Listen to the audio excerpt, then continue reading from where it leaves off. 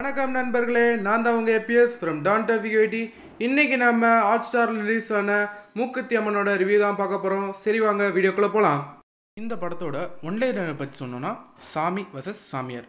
அதாவது நயன்தாராவுக்கும் நீங்கள் ட்ரெய்லரில் ஒரு குண்டு பையனை பார்த்துருப்பீங்க. அந்த குண்டு பையனுக்கும் நடக்கிற கிளாஸ் தான் இந்த மொத்த கடையுமே. ஈஷா யோகாவையும் நித்யானந்தையும் எந்த அளவுக்கு வச்சு செய்ய முடியுமோ அந்த அளவுக்கு வச்சு செஞ்சுட்டானுங்க.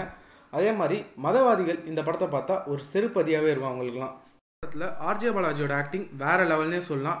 எல்கேஜில் எந்த அளவுக்கு ஆர்ஜே பாலாஜி பர்ஃபார்மன்ஸ் பார்த்தீங்களோ அதுக்கு ஈக்குவலாக இந்த படத்துலையும் அவர் பண்ணுறாரு நயன்தாராவுக்கு இந்த படம் ஒரு கம்பேக்னே சொல்லலாம். போன படத்துலாம் விஜயை குஷிப்படுத்தி ஒரு சேர்கால் மாதிரி பிகிலில் இருந்திருப்பாங்க. ஆனால் இந்த படத்தில் ஒரு ப்ராப்பரான ஆக்டிங் அவங்க கொடுத்துருக்காங்கன்னே சொல்லலாம். மாதிரி ஊர்வசியோட ஆக்டிங் ரொம்ப வெகுலியாகவே இருந்துச்சு. அவங்க கொஞ்சம் டைம் சீரியஸ் ஆக்ட் பண்ணிருப்பாங்க. அதெல்லாம் ரொம்ப எமோஷ்னலாகவே இருந்துச்சு. அதை பார்க்கும்போது நம்மளுக்கே கண் கலங்குற மாதிரி இருக்குது அதே மாதிரி ஆர்ஜே பாலாஜி தங்கச்சியாக மூணு பேர் வந்திருக்காங்க. மூணு பேரோட ஆக்டிங்கும் வேறு லெவல்னே சொல்லலாம். அவங்க மூணு பேருக்கும் இந்த படத்துக்கு அப்புறம் நிறையா சான்ஸ் கிடைக்க வாய்ப்பு இருக்குது இந்த படத்தோட மியூசிக்கை பற்றி பார்த்தோன்னா பிஜிஎம் வந்துட்டு வேறு லெவலாக இருந்துச்சுன்னு சொல்லலாம். ஆனால் சாங்ஸ் அந்த அளவுக்கு இல்லை. ரொம்ப மொக்கையாக இருந்துச்சுன்னே சொல்லணும். படத்தில் ஃபஸ்ட் ஹாஃபில் காமெடி சோஷியல் மெசேஜ் அப்படின்னு சொல்லிட்டு ஓரளவுக்கு ஒரு நல்லாவே போயிடுச்சுன்னு சொல்லலாம். அதுக்கடுத்து இன்டர்மிஷனில் வந்துட்டு சாமி வச சாமியார் அப்படின்னு சொல்லிட்டு ஒரு ஐப்பை க்ரியேட் பண்ணி விட்டானுங்க.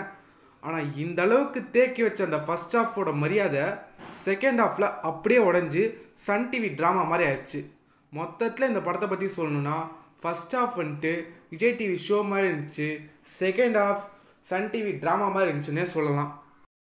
பிகே மாதிரி எடுக்கணும்னு நினச்சிட்டாங்க அந்த இன்ன படமும் ரொம்ப ஒஸ்ட்டாக வந்திருக்கு. ஆர்ஜே பாலாஜி டைரக்ஷனில் வந்த எல்கேஜி படத்தை மனசில் வச்சு இந்த படம் போய் பார்த்தீங்கன்னா உங்களுக்கு பெரிய டிசப்பாயின்மெண்ட்டாகவே இருக்கும். படத்தில் ரொம்ப சோகமான விஷயம்னா இந்த படத்தை மதவாதிகளை கலாய்க்கிறதுக்காக எடுத்துறாங்க ஆனால் இந்த படமே கலாய்க்கிற ரேஞ்சில் தான் இருக்குது இந்த படத்துக்கு என்னோட மார்க் எவ்வளோன்னு பார்த்தீங்கன்னா அஞ்சுக்கு ரெண்டு தருவாங்க. இந்த ரிவ்யூ உங்களுக்கு பிடிச்சிருந்தா லைக் பண்ணுங்கள் ஷேர் பண்ணுங்கள் இதே மாதிரி நிறைய வீடியோ வேணும்னா டான்டஃபிக் வைட்டிக்கு சப்ஸ்கிரைப் பண்ணுங்கள்